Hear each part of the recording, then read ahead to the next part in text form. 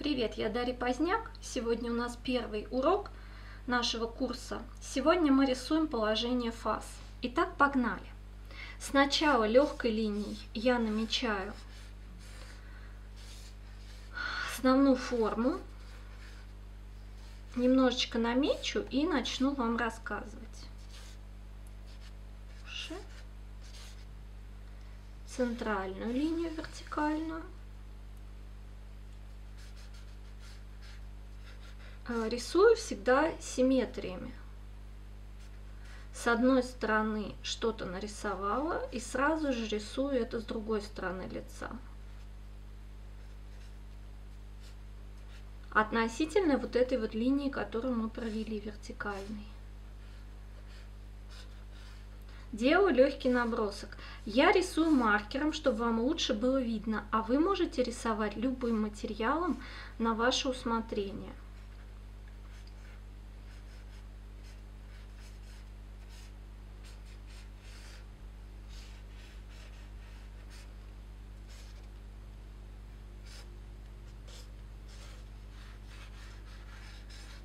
Итак, я всегда вам советую сначала делать легкий набросок и только потом уже углубляться в детали, потому что иначе вы нарисуете где-то один глаз полностью прорисуете, остальное не сделаете, композиция уедет в бок, или вы не сможете выдержать симметрию, или вам нужно будет потом что-то уменьшить, что-то передвинуть, а у вас уже сильно проработан рисунок. Поэтому лучше сначала сделать набросок. Итак, я сделала набросок. А теперь буду более подробно прорабатывать и вам рассказывать. Смотрите, значит, у нас в портрете есть основное правило. Э, портрет делится на три части. Смотрите, точка начала роста волос и брови. Это одна треть. От бровей до кончика носа это вторая треть. И от кончика носа до подбородка это третья треть. Желательно, чтобы эти расстояния были одинаковые. В принципе, у большинства людей действительно по пропорциям они одинаковые. Бывают редкие исключения, но сейчас на первой стадии рисования, обучения, вам лучше рисовать все-таки учитывая это правило. Потом, когда вы уже будете более профессионально работать и захотите усилить какие-то индивидуальные черты человека, вы уже сможете с этим параметром играться. Но сейчас мы изучаем классику. Итак, эти расстояния мы проверяем. Теперь я прорисую немножко более подробно брови, намечу и буду намечать глаза. Не волнуйтесь, я сейчас вам все расскажу. Просто нужно сначала сделать легкую наметку легким материалом, чтобы я могла вам дальше рассказывать. Легкий набросочек. Так, в принципе, этого достаточно. Итак, смотрите, давайте начнем с носа. У носа есть вот эта поверхность, которая а, к свету обращена, есть две боковые поверхности, которые идут вот так под наклоном, и есть третья поверхность, вот здесь, которая тоже идет под наклоном. Давайте, чтобы это было вам более понятно, я их сейчас закрою тоном. Если маркер будет сильно скрипеть, я наложу на это место музыку, не пугайтесь. И вернусь в тот момент, когда нужно будет продолжить рассказывать.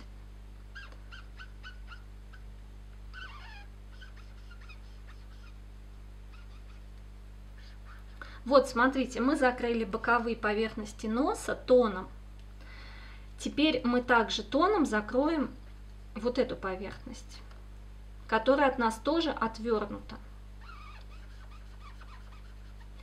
А в данном случае свет у нас как бы светит в лицо модели немножечко сверху, поэтому поверхности от, э, расположенные отвернуты как бы, они тоже будут в тени, как вот эта поверхность. То есть немножко сверху, значит все горизонтальные поверхности будут в тени. Поэтому эти поверхности я тоже могу закрыть.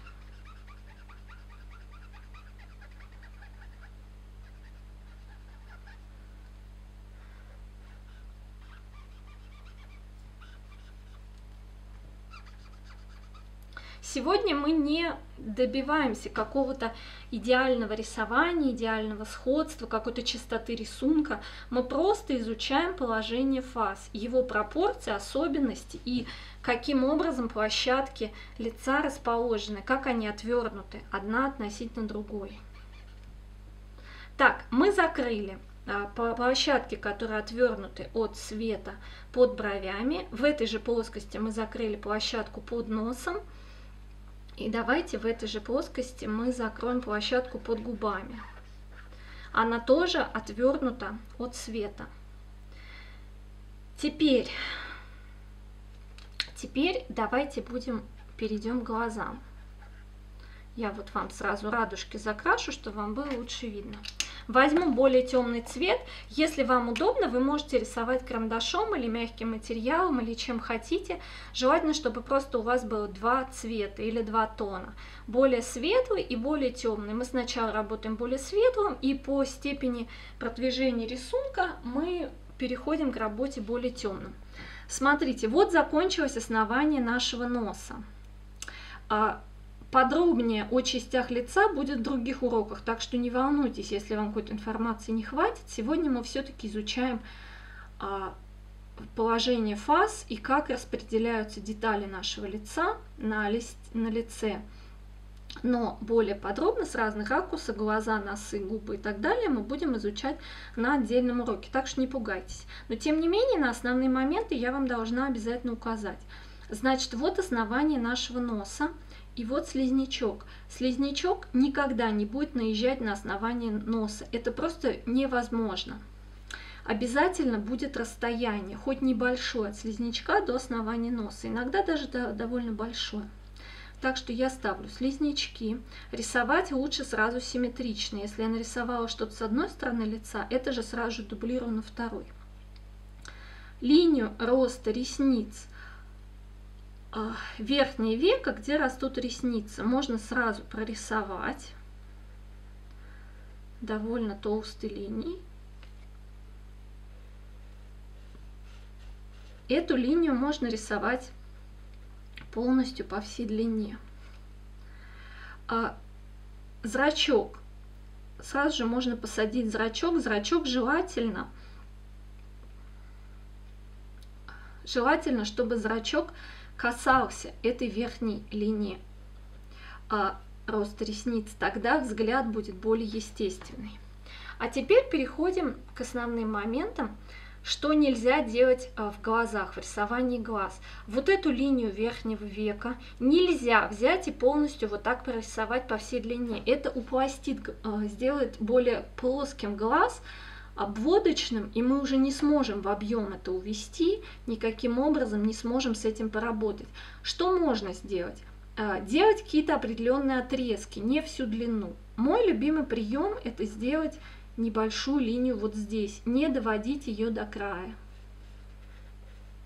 Сразу же рисую симметриями, помните, да? Так, дальше.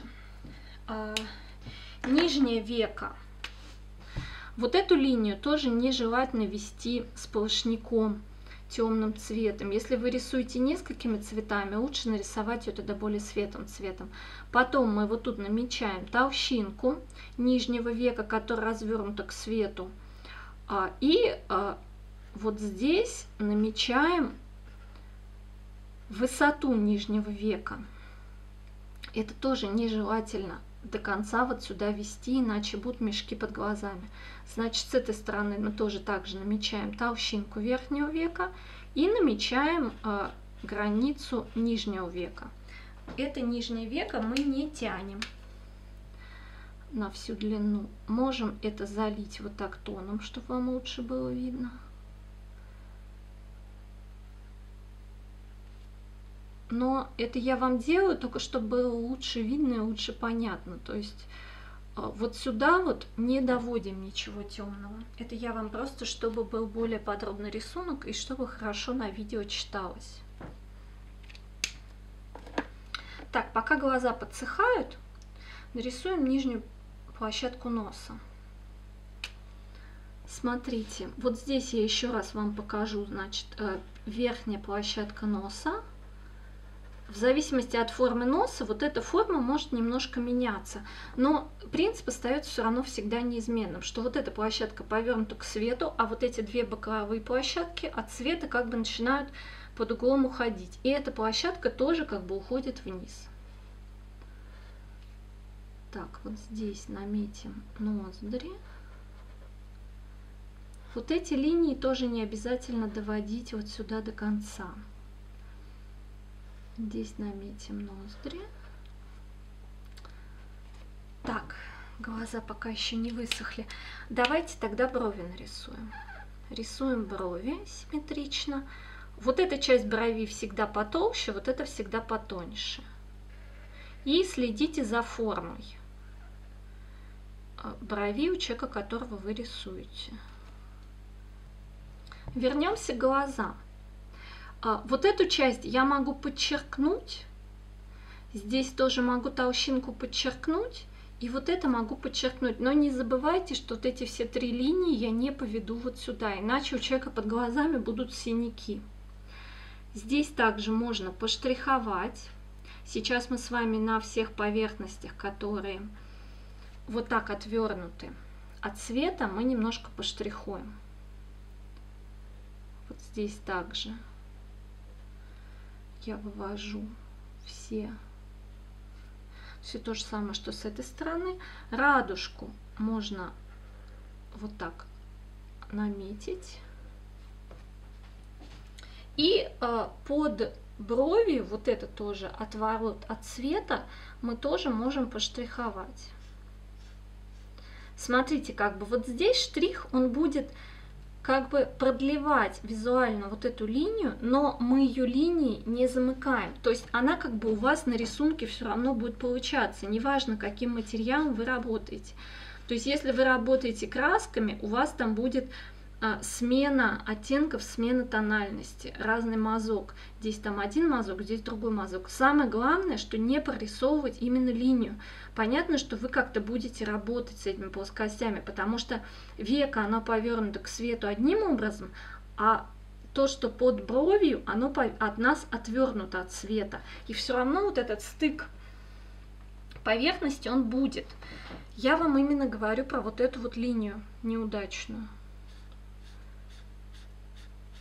Так, поштрихуем под вторым глазом.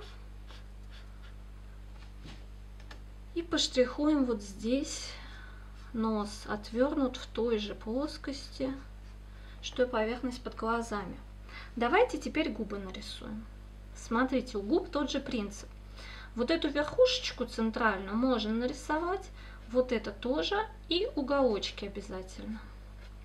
Вот здесь замыкать не обязательно. И нижнюю губу, серединочку можно прорисовать, края замыкать не обязательно. Центральную линию я люблю прорисовать, центральную линию, но следите за ее изогнутостью. У каждого человека она своя. И сразу же под губами у нас идет вот такая теневая площадка, которая всегда в тени, ну при таком освещении, которое мы выбрали.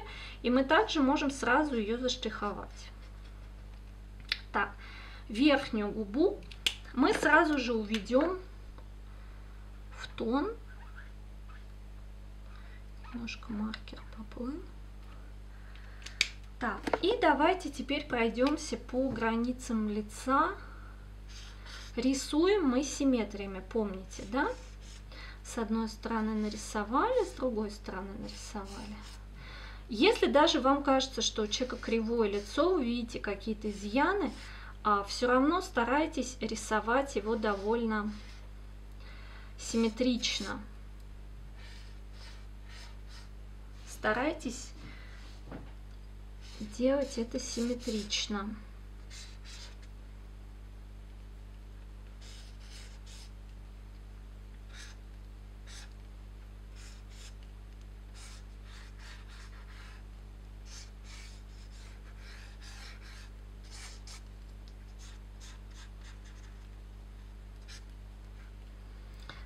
уши.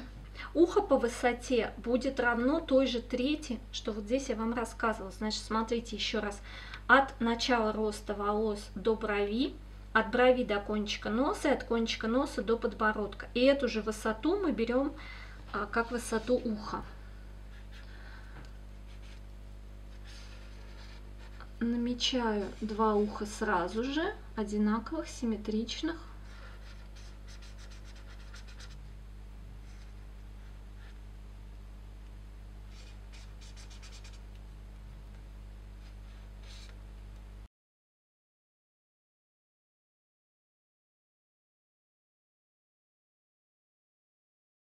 В основании шеи лежит цилиндр, эллипс, из которого, эллипс, из которого идет цилиндр.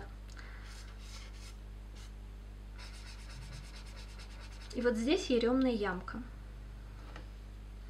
Так, сейчас я залью а, все боковые стороны лица тоже розовым маркером. Значит, у лица, как и у носа, тоже есть поверхность, которая направлена к свету, средняя.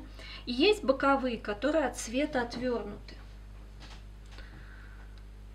Сейчас мы, если маркер будет скрипеть, я на некоторое время отключу звук, не волнуйтесь. И вернусь в тот момент, когда нужно будет продолжить рассказывать.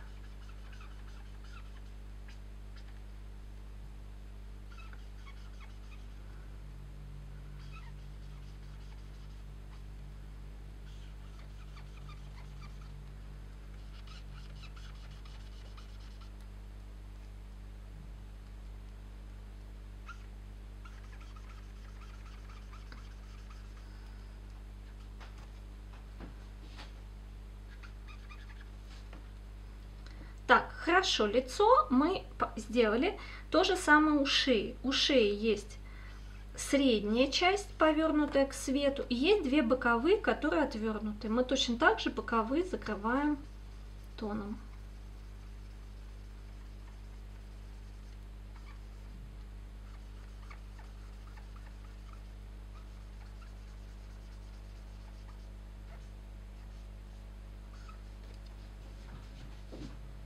Давайте также уведем волосы тоном, чтобы лучше пятно у нас набросок смотрелся.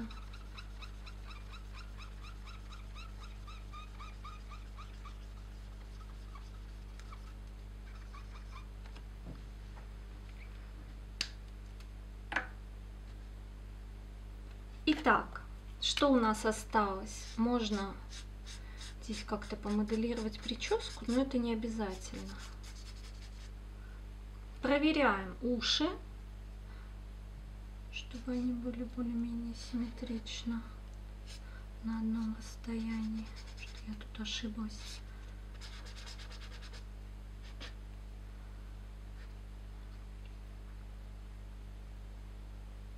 Так, хорошо. И давайте еще раз пробежимся. А, обязательно обращаем э, внимание на вот эту треть. Раз, два, три. И в эту же треть должно попадать ухо. От основания до бровей одна треть, от бровей до кончика носа вторая треть и от кончика носа до кончика подбородка третья треть. Еще можно поштриховать губы, так как они тоже отвернуты от света. Вот. Ваше домашнее задание – нарисовать 5-10 портретов фаз разных людей, мужчин, женщин с разными чертами лица, любым материалом. На этом все. С вами была Дарья Поздняк. До встречи на следующем уроке.